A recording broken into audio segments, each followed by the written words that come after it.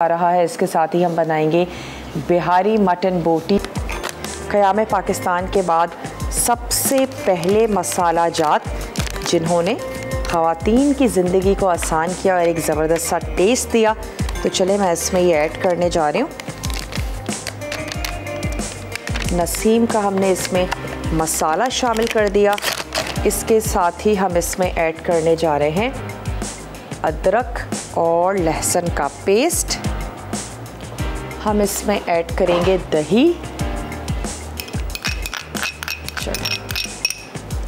हम इसमें शामिल करेंगे दही। अच्छा जो सुर्ख प्याज है, इसको हम पीस के इसमें शामिल करेंगे। और इसमें साथ ही चला जाएगा पपीते का पेस्ट। पपीते का पेस्ट जब आप इसमें ऐड करें तो आप इसको थोड़ा सा टाइम ज़रूर दीजिएगा। मैं इसको थोड़ा सा झटपट करूँगी। साथ ही हम इसमें ऐड करने जा रहे हैं डालडा कुकिंग ऑयल जिस पर 80 सालों से माओ का एतमाद है। तो हम इसमें थोड़ा सा ऐड करने जा रहे हैं। मैरिनेशन में अच्छा जाता है ऑयल तो ये हमने इसमें ऐड कर दिया डालडा कुकिंग ऑयल और डालडा का ऑलिव पोमिस ऑयल भी है, जिसको आप रेगुलर कुकिंग के लिए यूज़ कर सकते हैं।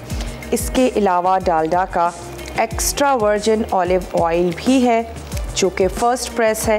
यानी कि पोमिस ऑयल भी बहुत ज़्यादा प्योर है, लेकिन जो इनका एक्स्ट्रा वर्जिन ऑलिव ऑयल है, वो बहुत ज़्यादा प्योर है। उसको आप रॉ यूज़ कर सकते हैं और उसको आप ड्रेसिंग्स में यूज़ करें, उसको आप चटनियों में यूज़ कर सकते हैं। तो बहुत ही ज़्यादा प्योर और फ़र्स्ट प्रेस ऑयल है वो।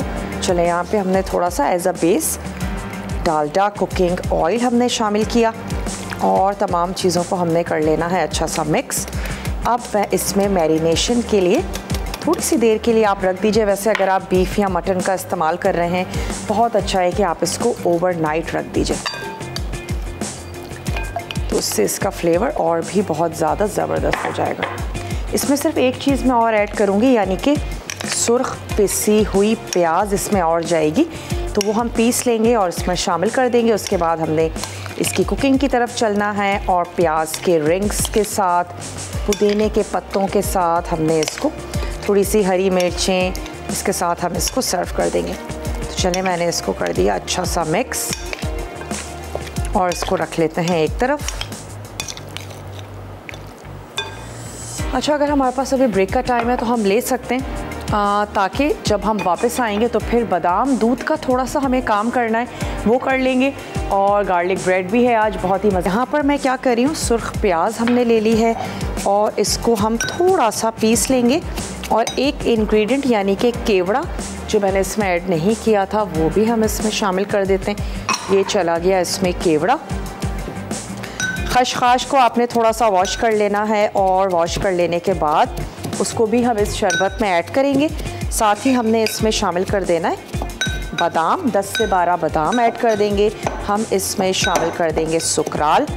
और इन तमाम चीज़ों के साथ हमने इसको अच्छा सा इतनी देर तक पकाना है। बादाम का तमाम चीज़ों का इसमें ज़बरदस्त सा अरोमा आ जाए। तो चलें, ये हमारे पास थी सुर्ख, प्याज और ये हमने ऐड कर दी अपने इस बिहारी बोटी में अभी से इसकी बहुत ही ज़बरदस्त सी खुशबू से है माओ का एतमाद।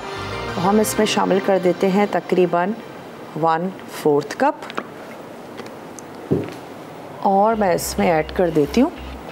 ये हमारा मैरिनेटेड मटन जिसमें हमने ऐड किया था नसीम का बिहारी बोटी मसाला। और हम इसको सर्व कर देंगे प्याज के रिंग्स के साथ, थोड़े से पुदीने के पत्तों के साथ हमने इसको सर्व कर देना है। चलें। साथ ही साथ ब्रेड पर भी आ, चेक करते चलें। चीज़ अच्छी सी मेल्ट हो जाए ब्रेड अच्छी सी गोल्डन हो जाए तो इसका मतलब है कि वो रेडी हो गई है। कोई भी कच्ची चीज़ तो है नहीं जिसको हमने पकाना है। बस सिर्फ़ हमने इसको अच्छा सा एक गोल्डन सा कलर देना है। ऐसे खाने में भी बहुत अच्छी लगती है। चाय के साथ आप इसको सर्व करें। बच्चे बहुत ज़्यादा पसंद करते हैं। कुछ पर हमने ऐड किया नसीम का पिसी हुई काली मिर्च, मसाला और कुछ पर हमने शामिल कर दिया नसीम का लाल मिर्चों का मसाला। वो तमाम लोग जो हर चीज़ में अपना थोड़ा सा स्पाइसीनेस का लेवल अप रखते हैं। चलें।